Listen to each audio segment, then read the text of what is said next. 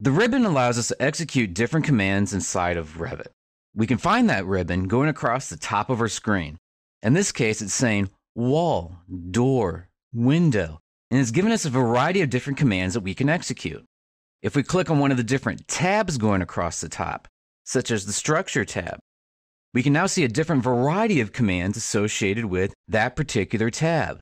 You could also move over to the Annotate tab, click on the Annotate tab, and see your different annotation tools, which will include your dimensions, your drawing tools, such as line work, arcs, circles.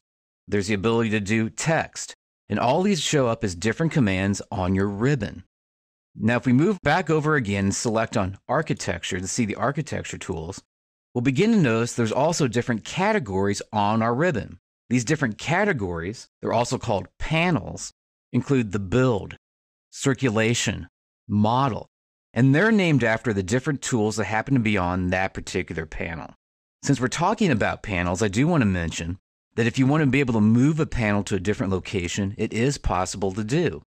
All you have to do is highlight over the bar there at the bottom of your screen, left click and hold your mouse button down, and you can drag that panel either to a different location on your ribbon or just somewhere out on your screen and let it sit there so that you have those commands in a more easily available area to be able to click on and execute. If you want to be able to bring that panel back up to your ribbon, all you have to do is move your mouse up, click, hold your mouse button down, drag it back up to the location you'd like to be at, and then when you see that gray area show up, just let go of the button and it'll automatically dock itself back onto that panel. One other thing to know about the ribbon, as far as being able to reorganize this different information, if you don't like the location of where one of these is located at, for instance, maybe you'd want structure in front of architecture, if that's the case, all you have to do is hold down the control key on your keyboard, left click and hold down your mouse button on the tab that you want to be able to move over, and then you can drag this over and let go in order to be able to rearrange the tabs on the ribbon. So once again, if you want to be able to move this structure, so in this case it's on the other side of the architecture, all you'd have to do is hold control down on your keyboard, move your mouse up here, left click, hold the mouse button down and drag it over, and you can drag that over to any place you want along your ribbon. Now on the ribbon, there's a variety of different buttons, and that's actually what we're looking at here. So here you can see I have beam and wall and column. If I highlight here on architecture and click on the architecture tab, we have different commands. Now, if I highlight over the word door, we can see that the door button highlights. It also gives us this little flyout menu that first starts off by saying, what does this command do? In this case, it says door, adds door to the building model. Then if you highlight over it for about one second, it'll automatically pop up an illustration showing what the command does or what it adds. We can illustrate this as well by moving over the word window here, seeing the one window, and then seeing it expand itself out to illustrate how windows work. One thing I do want to mention is based on the resolution of your computer screen, these buttons might be slightly different sizes.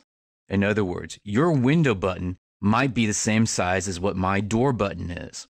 Right now, I'm working on a small computer screen at a lower resolution, so as a result of that, you'll find that the ribbon will automatically resize its commands based on the amount of screen real estate that you have available to you. So your window button might be larger, same size as my door button, and that's okay. It executes the same command. Now there are different kinds of buttons available inside of Revit as well. This is just your standard button, and if you would click on door, you'll see it automatically executes the door command. To get out of a command in Revit, all you have to do is hit the escape key on your keyboard. There are two other kinds of buttons, though, that you need to know about. The first kind of button is going to be called a drop down button. And you can see that whenever there's this little dark triangle next to a command. If you click on that little dark triangle, you'll get a variety of different commands which are associated with that command. In this case, I'm seeing structural column as well as column architectural. We can see that as well over here where we have stairs. That little down arrow click on it, and it gives us a variety of different options associated with that command. And once again, this is called the drop down button. There's also a split button inside the program, and Walls is an excellent example of a split button because it has this button and it's split into two different categories. The first picture is activating whatever the default option is. So just drawing a default regular wall. But if you want to be able to pick on the kind of wall that you want to be able to do, you can move down here to where it says wall and you can select on the word wall. And this will give you a drop down list of do you want to do architectural walls, structural walls, or different commands related to the wall command. So the ribbon allows you to be able to execute a variety of different commands, which will then have functions inside of Revit.